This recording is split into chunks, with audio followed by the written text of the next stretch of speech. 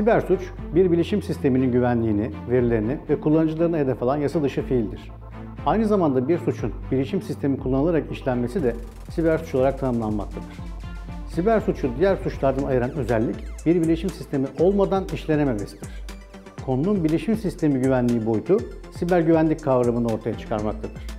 Siber suçlarla mücadele ve siber güvenlik, tüm dünyada iş dünyasında en çok meşgul eden konulardan biridir.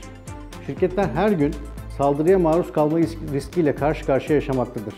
Buna karşın genellikle böyle bir saldırının kendi başlarına gelmeyeceğini düşündükleri için gerekli önlemleri almamakta veya gerekli önlemleri tam olarak aldıklarını düşündükleri için yeterli ilgi gösterilmemektedir.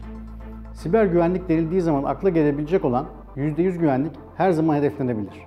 Ancak bu hedefe hiçbir zaman tam olarak ulaşılamayacağının da bilincinde olmak gerekir. Burada önemli olan kuruluşların doğru bir siber güvenlik yaklaşımını benimsemesidir.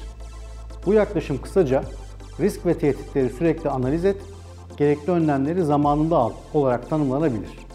Siber güvenliğin birçok boyutu vardır. Sadece en iyi teknolojilere yatırım yaparak başarılı olmak mümkün değildir.